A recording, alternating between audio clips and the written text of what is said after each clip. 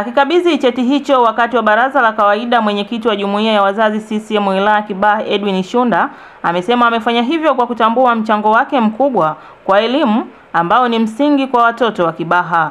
Tumekutana hapa pamoja na shughuli nyingine za kutangaza hizi kamati zetu ndogo za, za jumuiya ya wazazi za wilaya, lakini vile kwa tukio moja kubwa sana ambayo tumefanya hapa na kumkabidhi Mheshimiwa DC cheti cha kumpongeza na kutambua mchango wake kwa ajili ya programu yake ya Elimisha Kibaha ambayo alianzisha yeye na kuibuni yeye.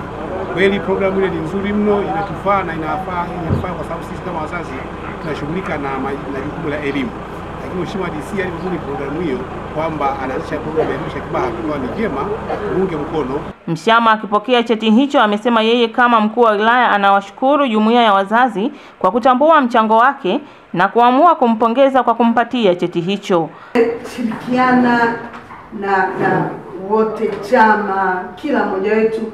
Mungu alichonipa mimi ni wazo, wazo nikalitoa kwa watu na watu wakalikubali, na ni baada ya kuona kwamba je, tuna sababu ya watoto wetu kukaa nje kwenye miti wakati sisi wazazi wao tu Kwa hiyo na wazazi nawashukuru kwa kuniunga mkono. Aidha, wakati huo huo mkuu wa wilaya amepokea vifaa mbalimbali vya ujenzi ikiwamo simenti mifuko mia mbili, bati hamsini na nondo tani moja kutoka kwa Habibu Mchange, mkurugenzi wa Jamvi la Habari. Toa ni moyo, sio utajiri, na kuitikia ni, ni kitu kingine, kutekeleza ni kitu kingine.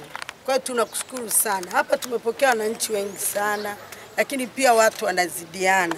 Nyuma yangu ninachokiona hapa ina uhakika ni kitu kikubwa sana. Akikabidhi vifaa hivyo, amesema yeye akiwa kama mkazi wa Kibaha anaunga mkono juhudi za mkuu wa wilaya katika kuhakikisha wanafunzi wanapata madarasa. Kifupi, sisi tupo hapa kwa sababu ya kuunga mkono juhudi zako Mheshimiwa DC eh, lakini eh, kuunga mkono na kusapoti harakati za wazee wetu hawa waliopambana miaka na miaka kujenga mji huu.